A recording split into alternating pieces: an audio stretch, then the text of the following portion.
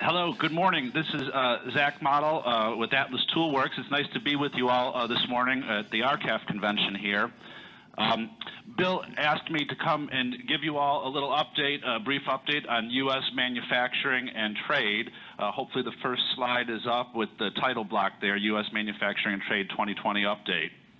Um, so uh, I spoke to you last year, and you, you may remember me um, uh, when I visited and, and, talked about my company, uh, the industry, uh, our history in the telecom manufacturing industry, and what was going on in manufacturing um, last year uh, when I spoke with you. Um, and I talked a little bit about the macroeconomics, the microeconomics, and, and some of the trade action that is going on uh, right now in the administration and, and in Congress and how that was impacting our industry. So today I'll give you a little bit of an update on, on some of the macro manufacturing issues.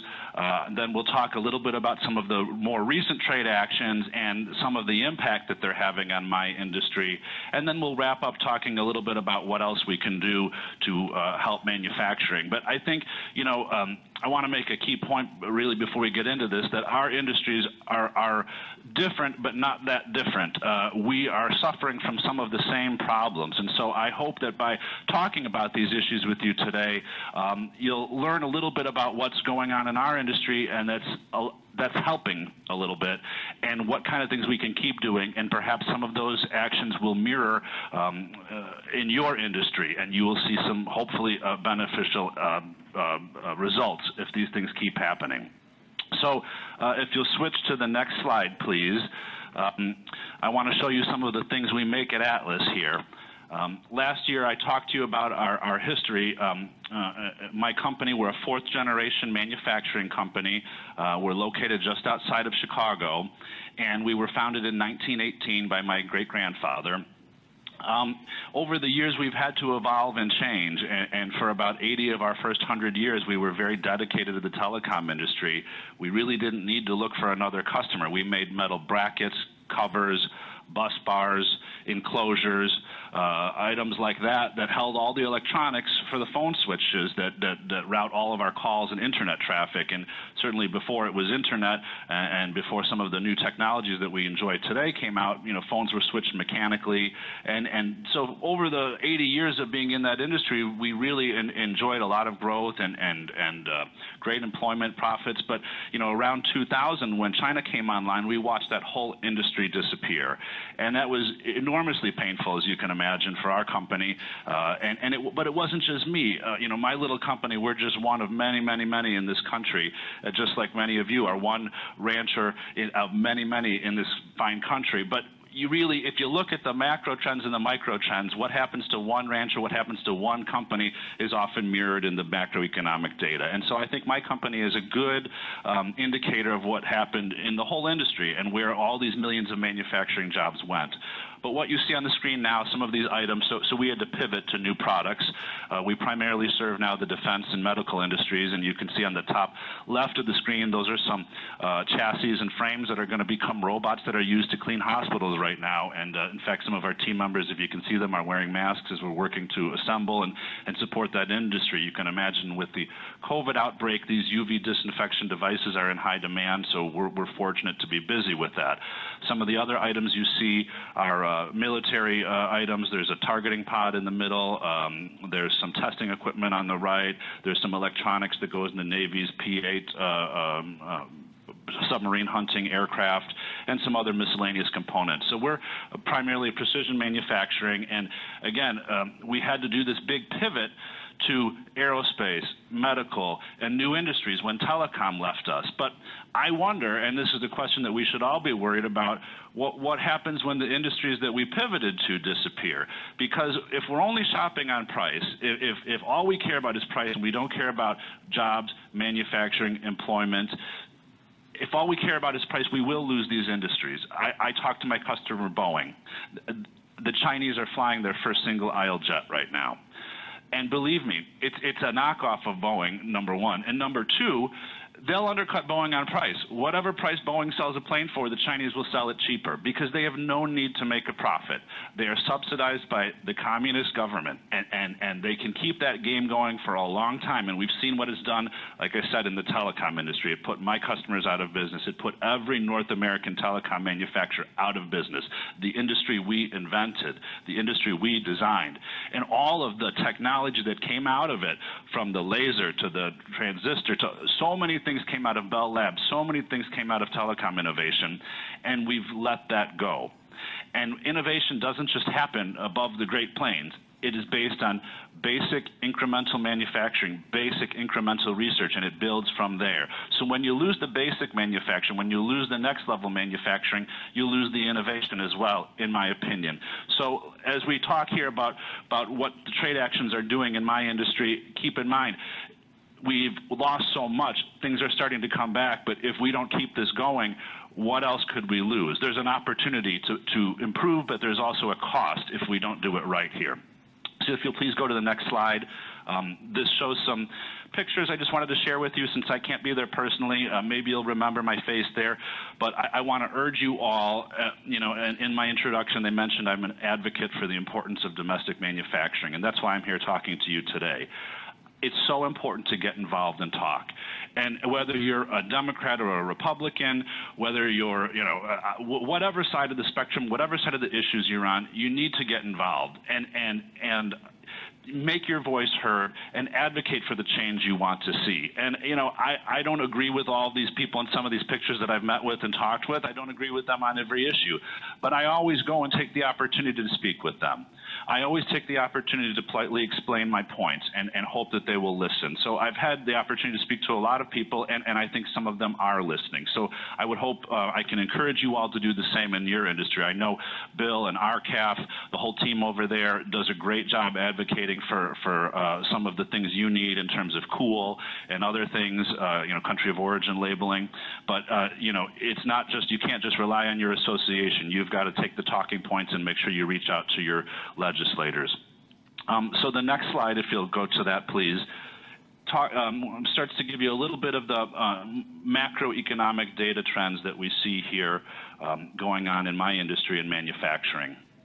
And it's a pretty good picture. Uh, it could be better, but considering what's been going on in the world, uh, some, some good things are happening. And I think that these, what we see happening really adds weight to the fact that the trade actions that we're taking are working and we need to do more.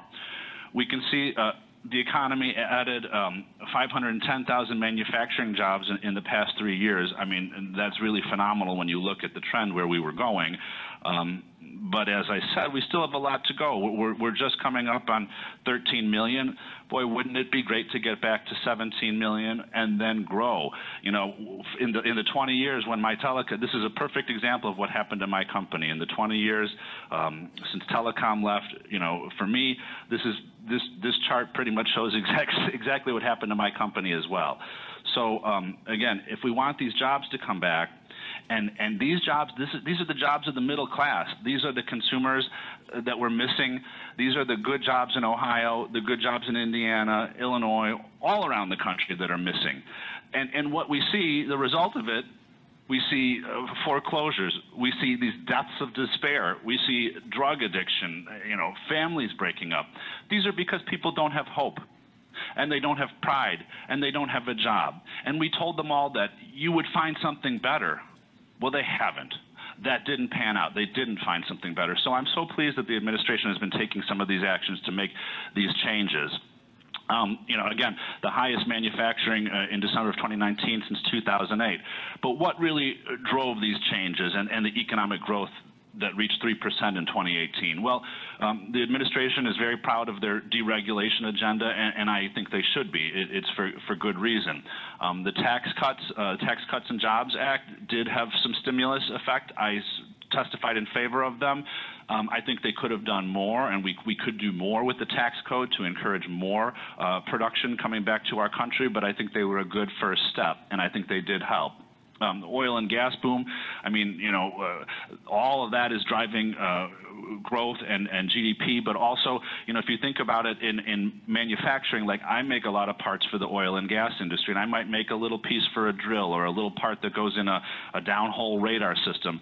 I'm one piece of a supply chain that feeds into that. So when that industry is booming, there are so many millions of us supporting that behind that boom. And then the big one, for me anyway, are tariffs. And we'll talk a little bit more about that as we get into the next slides. But I, I think that the tariffs are have been an important tool that have driven some of these changes. And when we look at some of the industry specific changes, we'll see a little bit more why, why I say that. But the tariffs are not the only tool. They're kind of a blunt instrument, and, and they're kind of being used um, not in conjunction of a whole trade policy. They're kind of being used by themselves. And, and so that's great because it's what the president can do on his own. And he hasn't always had the support of Congress on many issues. And, and quite frankly, I've been talking to Congress since 2000 for 20 years about these issues. And sometimes the Democrats are, are supporting these issues. Sometimes the Republicans are supporting these issues. But the problem is the issues never advance. They, it switches teams and, and, and it switches sides, but they can never get together and, and, and, advance these things and really put in a good comprehensive policy for America. So I'm pleased with the tariffs, but I think that they're just one tool in the toolbox. And so let's talk a little bit more about um, how the tariffs work and what other tools we can use. If you'll please go to the next slide um, about the steel tariffs boosting the steel industry here. Um, the 25% steel tariffs were some of the first things that came on. They were enacted in March of 2018. And it has had a positive impact on steel production in this country. Um, you can see it uh, uh, on, on, the charts of capacity utilization. You can see it on the production charts. Now, most recently, we've of course had, had quite a fall off here in 2020, primarily due to COVID, and, and I think we'll see that bounce back as, as things get back to normal here. But as a manufacturer who uses steel, you know, I, I, had a lot of inquiries from my friends. Why do you support these tariffs? Aren't you paying higher prices? The truth is no, I'm not. Uh, we saw a little bit of noise when the tariffs were first uh, enacted, and, and prices kind of spiked, and there was a little bit of a surge, and, and there were some shortages. But for me, I've seen prices come back down, and and um, you know the the uh, charts and the data show that prices are back to 2017 levels overall. Now, I'm sure there's still some people out there who are maybe having some shortages or some issues, but again, this is the short-term pain. You know, they, they told people to, oh, look for a better job, you'd find a better job. I, I didn't believe that one. But I do believe that if we work together through these things and we rebuild domestic manufacturing in steel, aluminum, and other industries, we will see any noise in the pricing, we will see any blip in the pricing normalize as the industry increases capacity, increases utilization, and we have more domestic competition so i have been a big fan of the steel tariffs. And another thing that people asked about about the steel and aluminum tariffs, they said to me, Zach, why, why are we putting tariffs on our allies? Why aren't we just going after the Chinese if they're the problem? Well, first of all, they're not just the only problem, and we'll see that a little bit later in my slides. But it's if you have made a commitment, uh, those tariffs were put on for national security reasons. We need a steel industry. We need an aluminum industry. It's critical to everything in our daily lives, and especially in the defense industry, it's critical. So if you make a decision to have an industry that is critical to your country, it's not about friend or foe, buying it from friend or foe. It's not about that. It's about you're going to support it here no matter what. And so our friends in Canada or in other countries who were offended, it's not about you, it's about us. It's about making sure we have a healthy industry. And again, it wasn't just China. Um, you know, the Canadians have not been great about making sure things weren't transshipped through Canada. You know, people have been avoiding tariffs, moving things through other countries, through Mexico, Canada. Um, they, they, can do more to protect that. And I think, again, the, tariffs are, are helping, helping on our end control what we can control. If you'll please move to the next slide, um, uh, the tariffs uh, regarding aluminum production here. Um, we saw a 43% increase in aluminum production since those tariffs went, went on, and, and uh, the president just enacted them again on, on, uh, on Canada here. Uh, they started, they had come off as part of some of the trade deal, but they were put back on. And again, for good reason. Look what's happening to capacity and utilization in the industry. You can see it. Um, they're expanding.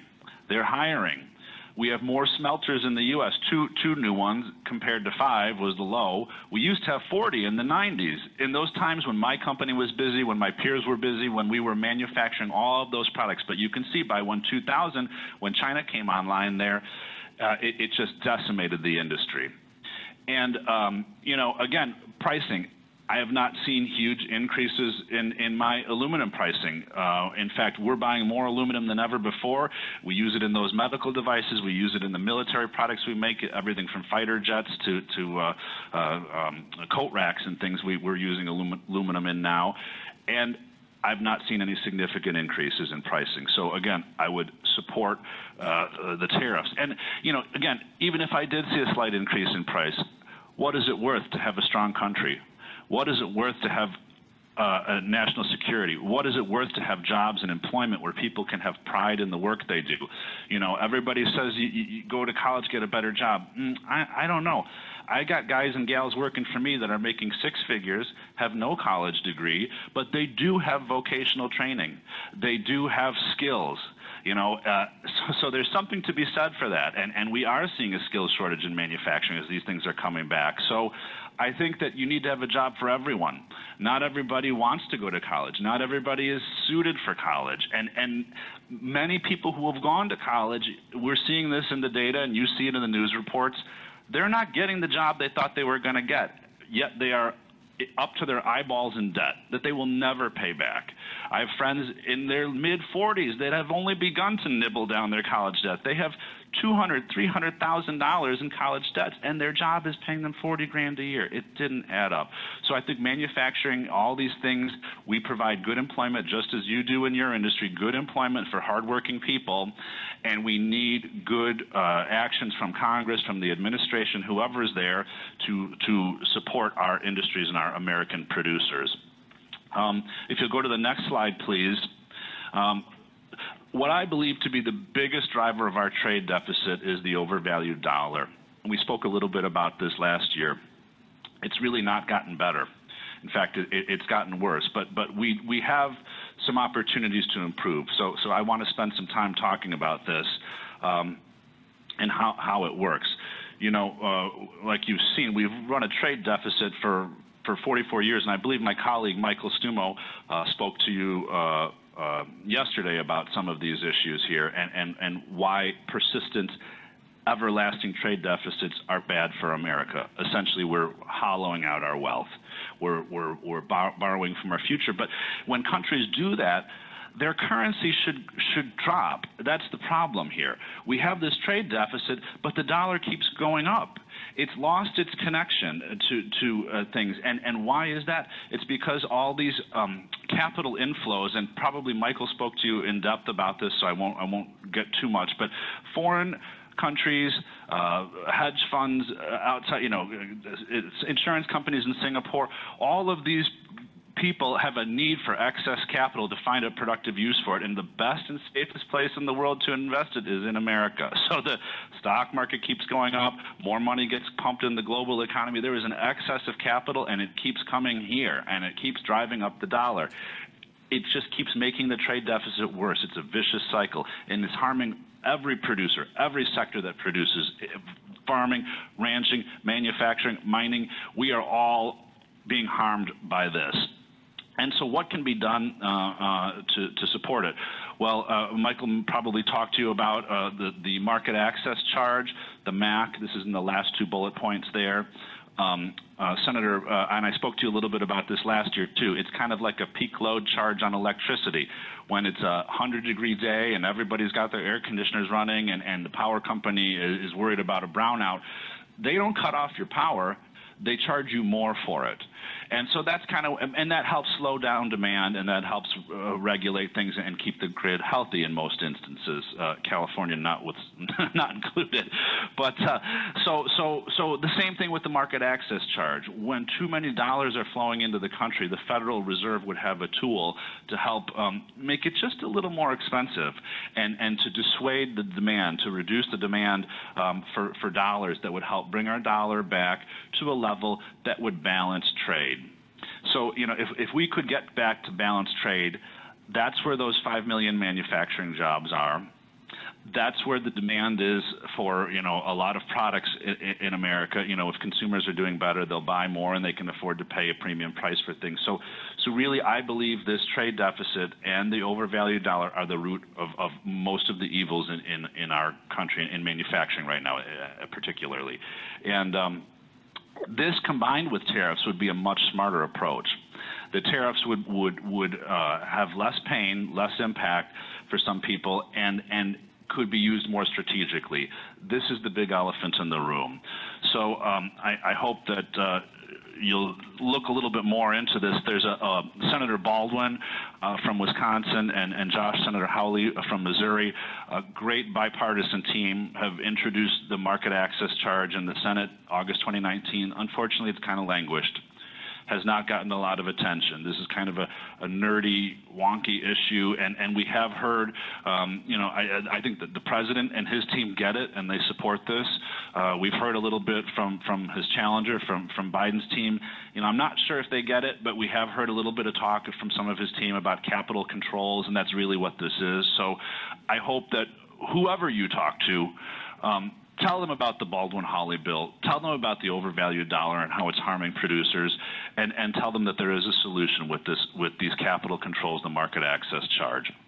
It will help all of us. And, and if you'll go to the next slide, this is where it really uh, comes down in the data. You can see on the next slide where we're talking about U.S. runs trade deficits with most major trading partners. Like I said, it's not just China. Mexico, U uh, the EU, Japan, it, it's it's nearly everyone that we trade with, and and and many of them have a much smarter approach than what we do. In fact, all of them do.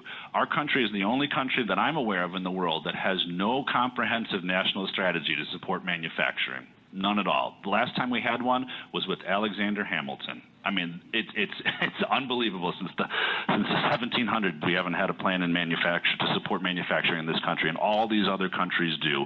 We heard about Japan; uh, they're they're even paying money. I'm not sure I support this, but it, it's an interesting approach, and, and, it certainly shows they're at least thinking about it. They're paying money to bring companies back to their country. It, it, it's very from China, very interesting. Um, but you know. Uh, th this trade deficit, again, you can see the tariffs imposed on China. Let's look at that in 2019. Look what happened there. They work. It's there in the data. That's it. You, you know, you, you see it happening here. And how can it really help? How can it break down into other industries? If you if you go to the next slide here, please, uh, the CPA reshoring index, um, the Coalition for Prosperous America, uh, and, and, Michael may have talked a little bit about this as well. Uh, we actually showed a slight increase in reshoring in 2019. And where I want to really point, if you look at the data chart that we have here, manufacturing import penetration, there's a kind of a brown reddish color for machinery if you see that. Look at that line. Uh, I make a lot of parts that go into machinery as well, and, and, and in that code. And um, Chapter 84, I believe, is, is the tariff code. That particularly was one that everybody was freaking out about. This is everything from parts for copy machines, parts for washing machines, parts for custom machines that make food products, uh, you know, Wrigley uh, chewing gum. You know, they'll make five custom machines. Well, my company's going to make parts and pieces that go into those machines. And so this this tariff code, the increase that we see right there, the increase that we see in the next tariff code, motor vehicle bodies, trailers, and parts uh, down there, that, that bluish line, those are, I think, the ones that you really want to zero in on to show that these tariffs are working and they're bringing jobs back. Unfortunately, uh, in other industries, you know, apparel, uh, computer and electronics products, um, you know, even in finished motor vehicles, you know, the, the it's up. You know, the imports are still coming. So we've seen some improvement here, particularly in 2019. I think we're going to see some more improvement even in 2020, although there's going to be noise from the COVID uh, crisis in the data. But the tariffs are working, and, and they're bringing jobs back. They're bringing industry back. So if we keep them going, and if we keep doing more things like managing our dollar better um, and some other uh, uh, actions we can really help jobs in America. We can help our productive capacity. If you go to the last slide, the summary uh, page, please. Um, again, we talked about the growth in manufacturing, how the tariffs are working. Um, we have reduced our dependence on China, but that dollar overvaluation is still there. That's the biggest thing. And if we can get these capital flows to get the dollar to a competitive level, level, it will it will help uh, manage our deficits and our growth. But um, the last point, number nine, is where I want to talk a little bit more. Um, this industrial strategy piece is really what's missing here. I think again, tariffs done by themselves, um, dollar realignment done by itself. As I mentioned, I'm already, my company's getting busier. Many of my peers are getting busier. Um, those of us that survived this horrible 20 year period uh, have a great opportunity in front of us.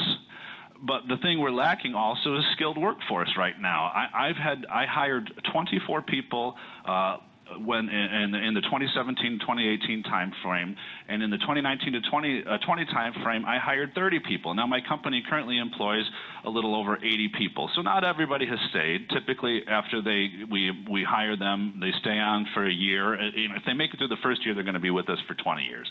But so so about half of those people that we've hired in, in both years left, and about half stayed. But we still have job openings. I got many job openings that I can't fill. And, and, and it's for these skilled positions, these highly skilled, these programming positions. And these are positions that don't require a college degree, but they require years of, of, of hands-on training and they require before that typically some schooling and vocational training and classes and so if we if we bring back uh, jobs or if we make the dollar competitive and, and, and we, we have tariffs and we bring all these things back but we don't have the workforce to support us we're, we're not going to help ourselves at all. We're still going to be in trouble. We're still not going to get the jobs back. So, again, you can't do any of these things in a vacuum. They need to be looked at in a total comprehensive strategy. And I hope that um, the next administration really takes uh, that up uh, loudly. I hope that the next Congress really takes that up. There have been bills passed. I've testified in support of some of them in the past.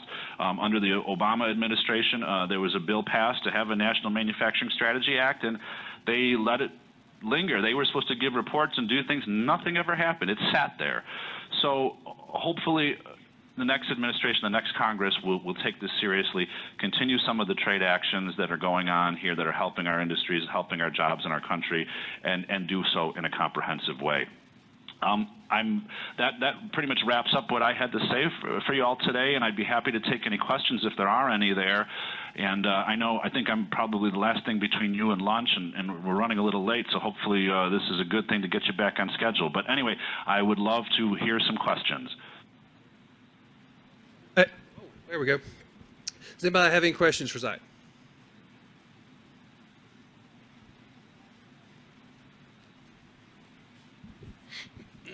You mentioned the dollar's overvalued, and uh, is there any pressure at all being put on the Federal Reserve to realign the value of the dollar lower to make us more competitive? Um, unfortunately, not really. No, they don't currently have a mandate to worry about the dollar's value, and that's what the market access charge would do. In part, it would give them a mandate to regulate it and to keep it at a trade balancing level. So no, they don't have any incentive to manage it now. They don't do it now. And in fact, Wall Street types, stock market types, many of the types in, in, in that industry and, and who have risen through the ranks to, to become the regulators or at the Federal Reserve or wherever, they uh, see it just the opposite, that a strong dollar is good for America they don't get for some reason uh, the connection has not i mean they know it but but perhaps maybe the reason they choose to ignore the connection is that they're making a lot of money by ignoring it. Um, you know they like the stock market to keep going up whether it has any uh, ties to reality. You know they like the dollar that keep going up. That that makes uh, you know companies that are have aligned their supply chains to buy cheap products overseas and bring them here and sell them to us even more profitable. When the dollar is up against other currencies, all those little bits and pieces and parts and assemblies that they're bringing in from overseas and selling to you here, they keep getting more profitable. So it incentivizes them to buy more things elsewhere. The dollar keeps going up. It, it, keeps making their supply chain costs go down, and they keep selling them to you at the same price and keeping the difference. So, so there is a lot of incentive to not do it. So, so in answer to your question, no, they're not doing it now. But hopefully, we can keep pressuring them, and we can get if not this bill, another bill passed that will do something to help them regulate the dollar's value.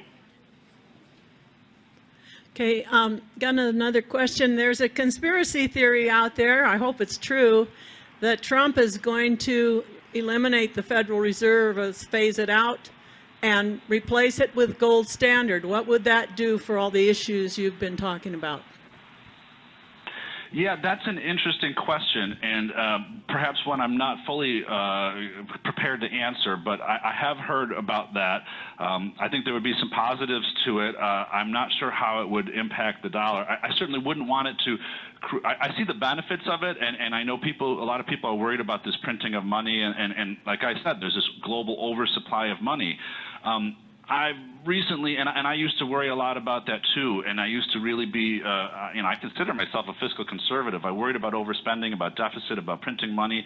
I've recently gotten some new education showing me that these don't matter as much as we think, especially in a world that's competing like this when everyone else is pumping money and printing money, if we cut off the pump, we're only cutting off our own nose despite our face. So I don't know if going back to the gold standard would do that, and I certainly wouldn't want to do it if it would shoot the dollar up even higher. Um, but if it would help manage it at, at, a trade balancing level and and and and control some of this um, this excess capital flows, I would be in favor of that. I would think it's a good thing. This question is related to that last one, and uh, what would the uh, relationship be with the tremendous deficit, interest rates, and the value of the dollar? Well, again, aren't we in a curious world? Interest rates keep going down and down and down. The deficit keeps growing. These things shouldn't be happening they shouldn't be happening under traditional economic rules. Uh, the disconnect is, is extraordinary. And the fact that traditional economists and people at the Fed and, and power, I, they must see this as a problem. They must understand how the system is broken. But I think it's just working for their benefit and the benefit of their people that they don't really care. So, so again, I'm I'm I'm less worried. You know, again, uh, more re- I'm more worried about fixing the trade deficit than I am the federal deficit. I think the two things will ultimately fix themselves. But if we fix the trade deficit first, and if that takes some money to do, perhaps infrastructure spending, a strong Buy America provision in infrastructure spending. I mean, I'd love to see an infrastructure bill that truly required Buy American, because I mean, I'm involved in making these parts and pieces for these companies, and I know how they work the system to avoid as much as possible these clauses. So if we could really have that and really get the trade deficit down, I think we would see. Um, the result in wages, income taxes, other taxes, consumption type taxes, sales taxes, I think we'll see things add up the right way. But I'm not as worried about the deficit as I used to be. Uh, um, so I, I hope I've, I've answered your, your, question. I think right now what's more important is getting jobs, employment, and protecting our position in national security in a world where there are many actors around us, particularly China, who do not share our interests and really don't like us.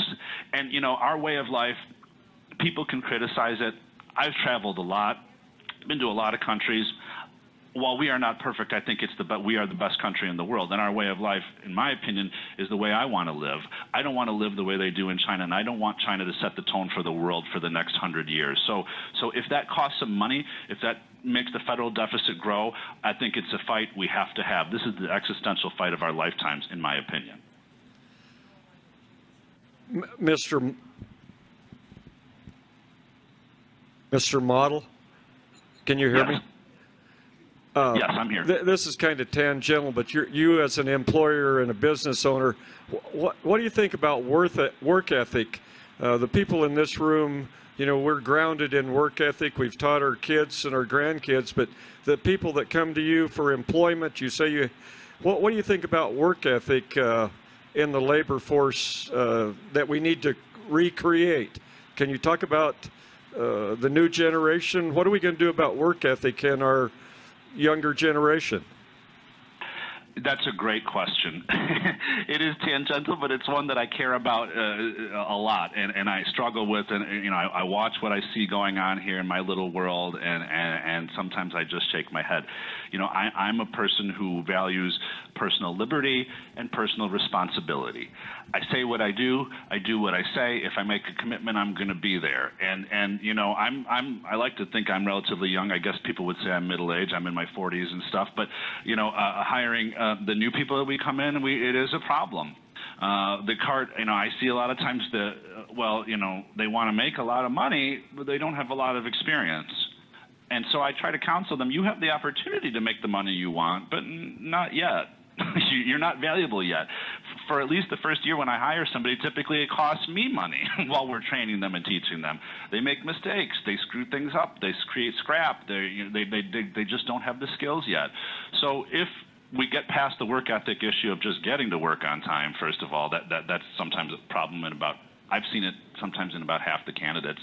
Then we have the issue of um, are, are you, you know, why why they they want to get bonuses, they want to get paid, they get disgruntled and frustrated quickly because they haven't gotten the rewards as fast as they think. And I guess this is part of the conditioning of the world we live in here with the you can get your food immediately.